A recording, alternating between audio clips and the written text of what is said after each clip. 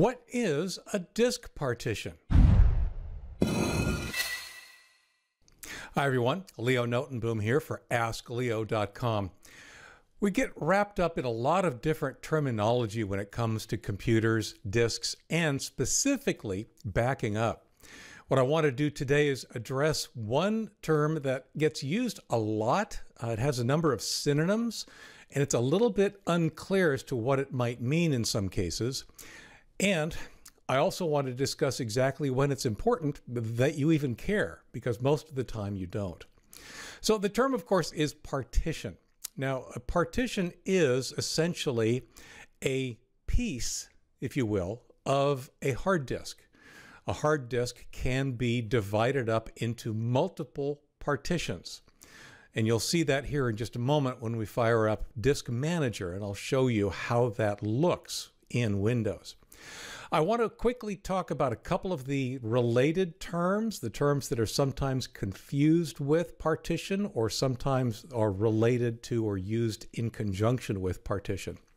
Volume is a term you'll see often, and for the most part, it is synonymous with partition. You'll often hear folks talk about disk partitions and disk volumes. They're pretty much the same thing. You'll also hear about what are called logical and physical drives. Physical drives are what you might imagine the actual physical hard disk or SSD that you might have in your hand. The logical disk is what happens when you take a physical disk and divide it into pieces.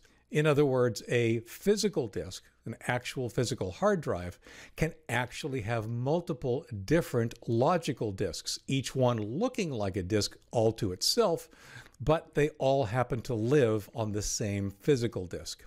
And then finally, disks and drives. Those terms do get used interchangeably, uh, inconsistently at best. I know I'm guilty of that myself. A disk and a drive are essentially the same thing, whether it be a hard disk, an HDD, or a solid state disk, SSD.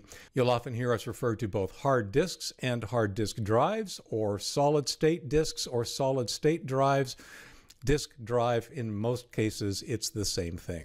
So let's go take a look at an actual system here. This is my Windows 10 home machine.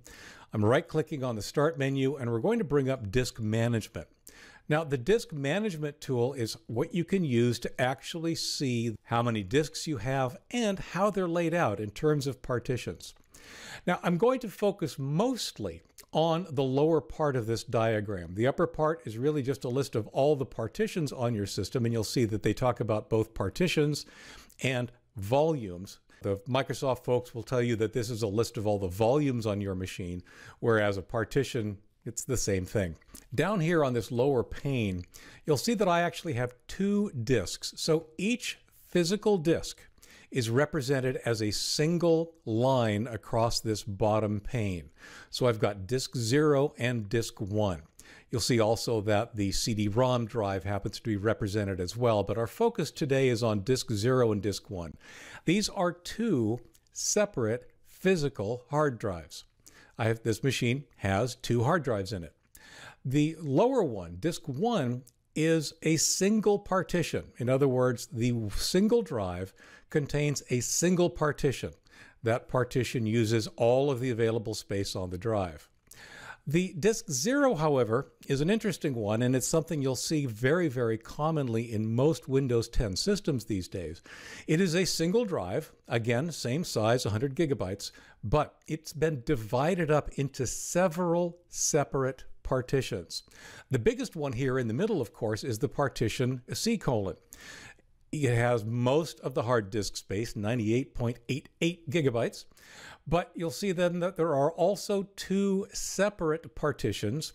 They don't have drive letters assigned, but they are in fact separate drives. These are logical drives. Each one of these partitions is a separate logical drive on the single physical drive that is disk zero. You can see, of course, that the center partition here, the C colon, has a drive letter assigned, C it's not required that partitions have drive letters assigned. These other partitions, the recovery partitions, what they call the system partition, these are typically not used or not useful for us to be able to access in an ongoing basis. So you don't see a drive letter. They just aren't made visible to Windows. In some cases, like this one on the left, you can right click on it and change drive letters and paths to assign a drive letter to it. Or on this one, you can see the recovery partition. That's simply not an option.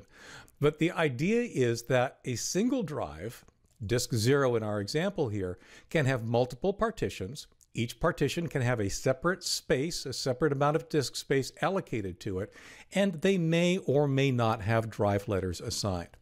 Now let's look at another slightly more maybe pragmatic or practical application. Let's take a look at this volume E that I've got down here. It's a single partition. If we wanted to, we could divide this disk into two partitions, and I'm going to do that. Using Microsoft's tool, the built-in disk manager, you can only do that by deleting the volume, the volume or partition as it's called. We're not going to save any data. When you delete a volume, you are erasing all of the data on that volume. If you wanted to do what I'm about to do and preserve data, you'll need to use a third-party tool. The Microsoft Disk Management tool doesn't support doing this any other way. So I'm going to say yes, we're going to delete the volume. And now we have 100 gigabytes of unallocated space. This is not unlike a disk that might have come factory fresh, although they do sometimes come uh, pre-formatted, but this is essentially an unformatted, unallocated disk. I'm going to right click on it again, and I'm going to create a new simple volume. It fires up the wizard to do so. I'm actually not going to allocate all of the space. This is the maximum amount of space, and you can see that it defaults to creating a single partition that encompasses the entire drive. Instead, I'm going to roughly turn this in half. So we'll go ahead and call this uh, uh, 50,000 megabytes or 50 gigabytes. We'll hit next. I'll go ahead and let it assign a drive letter. That's fine.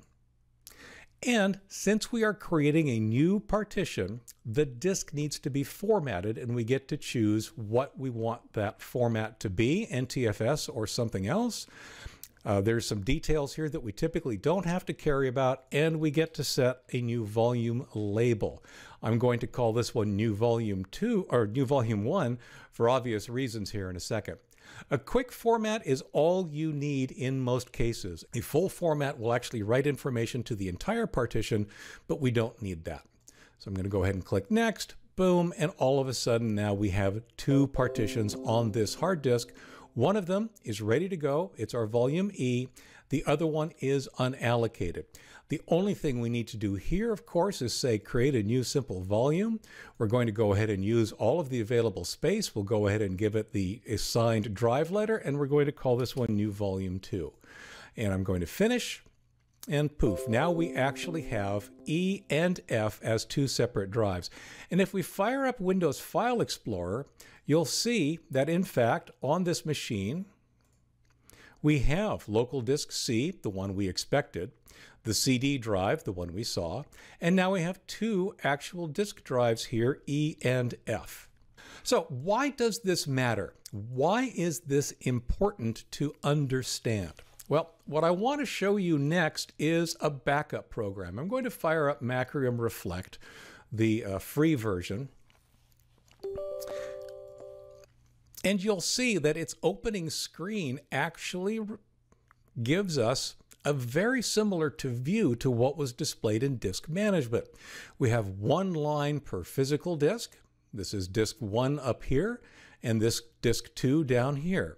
We have boxes within each of those lines representing each of the partitions. Here's why it matters. You can back up an entire partition and maybe only a partition. If we uncheck the two smaller partitions at either side of our C drive, and if we were to now create a backup image, that image would be of everything on the C partition and only the C partition. In other words, it would only back up this single partition. In many cases, that's enough. That's fine. That's great. My preference is that you always back up the entire disk. In other words, all of the partitions are selected so that you know that no matter what, the image you're creating is an image of the entire hard disk and everything that was stored on it without necessarily needing to know what you should or should not back up. You can, if you like, back up individual volumes or partitions as they're often called, but my preference is that you actually back up the entire hard disk, the entire physical hard disk. The same is true for this other disk. These are two what we would typically refer to as data drives since our system is on C. These two drives, E and F, you can now back them up separately. The way it's configured right now, it would take an image of only the F drive, or you can back them up together, taking an image of the entire physical hard drive. But that's what partitions are all about. They really are nothing more than a different way of organizing the data on your machine. I hope this was helpful. For updates, for related links, for more, visit askleo.com slash 131019. I'm Leo Notenboom. This is AskLeo.com. Thanks for watching.